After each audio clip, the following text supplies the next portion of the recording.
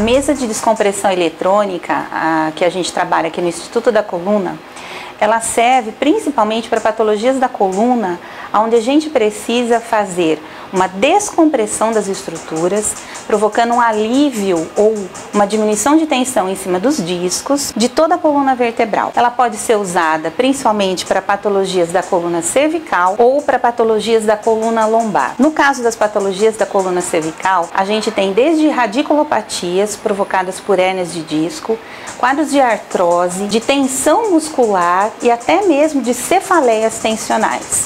Além de ela promover uma descompressão, ela promove uma reorganização desses discos, facilitando um aumento da microcirculação bem próxima à coluna.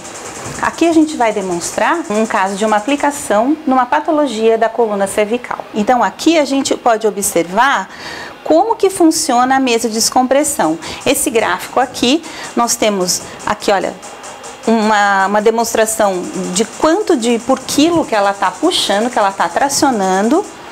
E aqui no gráfico a gente vai vendo a manutenção dessa carga. Aqui é uma escala onde ela vai começar a subir. Então aqui a gente tem um nível mínimo de 5 quilos, onde ela vai subindo até chegar aos 9 quilos de tensão no caso desse tipo de tração. Aqui a gente vai demonstrar como funciona a mesa de tração no caso de uma patologia cervical.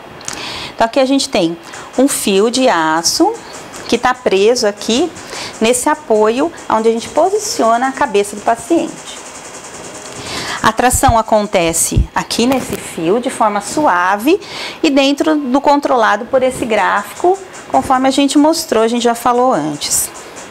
Aqui ela faz uma tração de uma forma bem lenta e segura, é bem confortável para o paciente, ao mesmo tempo aonde o paciente vai se mantendo relaxado para que essa tração ocorra e ela pode acontecer até no nível torácico mais alto. Ele, ela pega não só a coluna cervical, mas a coluna torácica alta.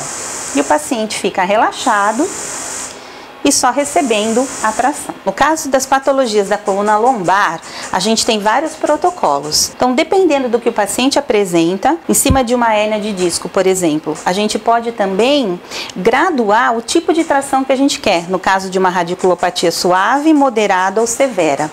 Nós também temos, podemos usar mesa de tração para um quadro de uma artrose na coluna, somente para tensão e espasmo muscular, para contraturas, tensão de sacroilíaca ou mesmo para quadros de mielopatia. Depois que a gente seleciona, toda a carga ela é feita em cima não só do nível de dor que o paciente apresenta, mas também do seu peso. Então a gente faz a seleção, fazendo o cálculo específico para cada patologia, e assim que o paciente estiver posicionado, a gente começa a fazer a tração de forma suave, aonde o paciente fica confortável, a tensão é gradual e seletiva. Depois que a gente posiciona o paciente e está selecionado de acordo com o seu peso e a intensidade da sua dor, liga a mesa de tração e ela vai promover através desse mesmo fio. O paciente está preso pela cintura, pelo nível do quadril e tem a faixa de cima que está presa na mesa.